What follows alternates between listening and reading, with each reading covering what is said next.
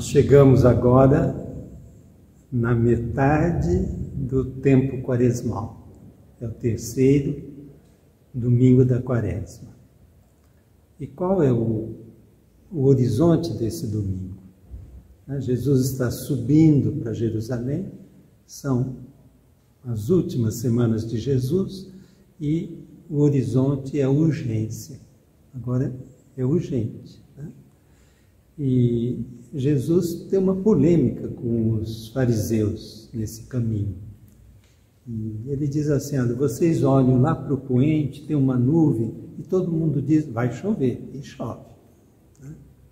Vocês também sabem ler esses sinais. Quando vem o vento lá do sul, né? a Palestina está lá no norte, o vento do sul vem da África e todo mundo diz, Ih, vai dar um mormaço danado. E vem o mormaço.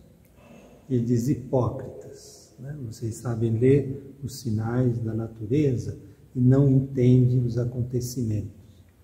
E aí Jesus trata de dois acontecimentos.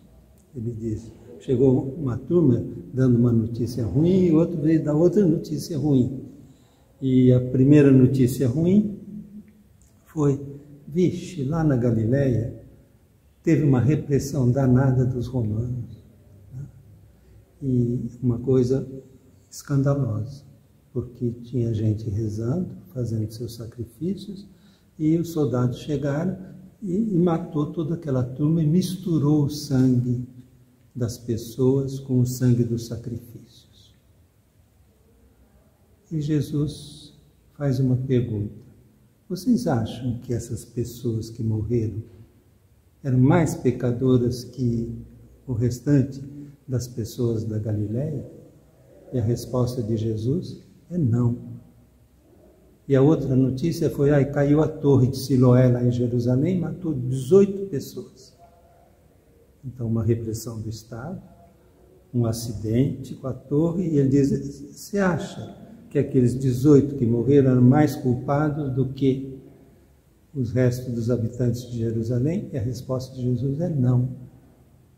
É que nem hoje, a gente diz, ó, aconteceu uma tragédia em Petrópolis, morreu quase 300 pessoas, 1.500 desabrigados, e aí fica todo mundo discutindo quem é o culpado, não sei o quê, e por que na casa desse e não do outro. Né? A pandemia é a mesma coisa, a guerra agora é a mesma coisa. Né? Atinge um míssil, um prédio, morre uma família inteira e o prédio lá nada. Então aquela lá era mais. Não, Jesus diz. Ele diz: vamos entender as coisas.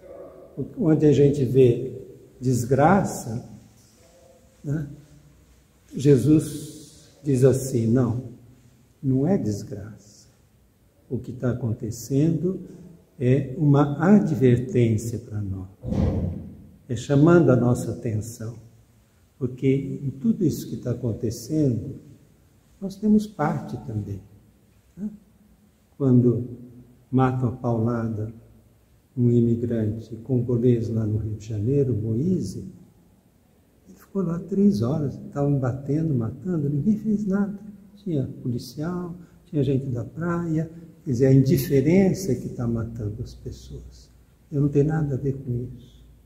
Então Jesus diz isso é uma advertência para nós. Se a gente não se converter, não trocar o modo de a gente ser, a gente vai perecer também. Ele conta uma parábola pequenininha.